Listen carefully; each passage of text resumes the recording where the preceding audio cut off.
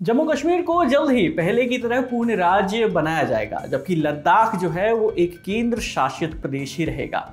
केंद्र सरकार ने सुप्रीम कोर्ट में मंगलवार को ये जवाब दिया है। जम्मू कश्मीर से आर्टिकल 370 हटाने के फैसले को चुनौती देने वाली तेईस याचिकाओं पर मंगलवार, यानी 29 अगस्त को बारहवें दिन भी सुनवाई जारी रही।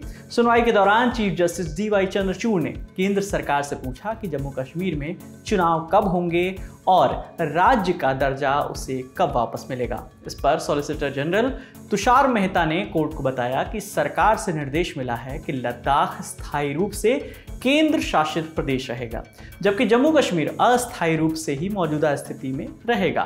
केंद्र शासित प्रदेश लद्दाख के कारगिल और लेह में स्थानीय निकाय के चुनाव भी होने हैं। सॉलिसिटर जनरल ने गृह मंत्री अमित शाह के लोकसभा में दिए गए जवाब का भी हवाला दिया। जिसमें अमित शाह ने कहा था कि जम्मू कश्मीर में स्थिति सामान्य होते ही पूर्ण राज्य का दर्जा बहाल कर दिया जाएगा। सरकार को इसमें कोई आपत्ति नहीं है। वहीं जम्मू कश्मीर में विधानसभा चुनाव को लेकर सरकार 31 अगस्त को बताएगी। सॉलिसिटर जनरल ने कहा कि संविधान निर्माताओं ने कभी भी अनुच्छेद 370 को स्थायी रूप में लाने का इरादा नहीं किया था। इसके साथ ही उन्होंने कहा कि सीमावर्ती राज्य होने की वजह से विशेष राज्य का दर्जा बहाल करने की दलील भी लचर है, क्योंकि जम्मू कश्मीर इकलौता सीमावर्ती राज्य नहीं है। इस दौरान सीजीआई ने सीधे पूछा कि सरकार जम्मू कश्मीर में चुनाव कब करा रही है। सीजीआई ने सॉलिसिटर जनरल तुषार मेहता से वो कानून दिखाने को भी कहा कि उन्हें जहाँ से राज्य के पुनर्गठन की शक्ति मिली है। इस पर सॉलिसिटर जनरल ने अनुच्छेद तीन के हवाले से बताया कि संसद को किसी राज्य की सीमा तय करने और केंद्र शासित प्रदेश बनाने के अधिकार हैं। सीजीआई ने पूछा, आपने एक ही केंद्र शासित प्रदेश क्यों नहीं रहने दिया? जम्मू कश्मीर और लद्दाख दो क्यों बनाए?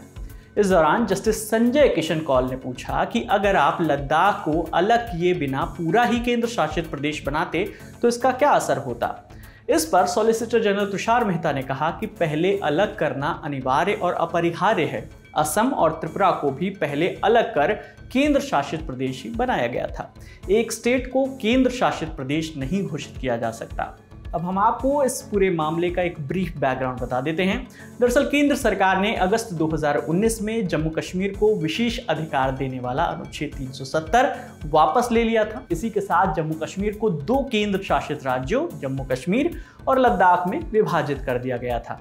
केंद्र सरकार के आर्टिकल 370 हटाने के फैसले के खिलाफ सुप्रीम कोर्ट में तेईस याचिकाएँ दाखिल की गई, जिस पर मंगलवार को बारहवें दिन भी सुनवाई जारी रही। सुनवाई करने वाली बेंच में chief justice D Y Chandrachud के अलावा justice Sanjay Kishan Kaul, justice Sanjiv Khanna, justice B R Gavai और जस्टिस सूर्यकांत शामिल हैं।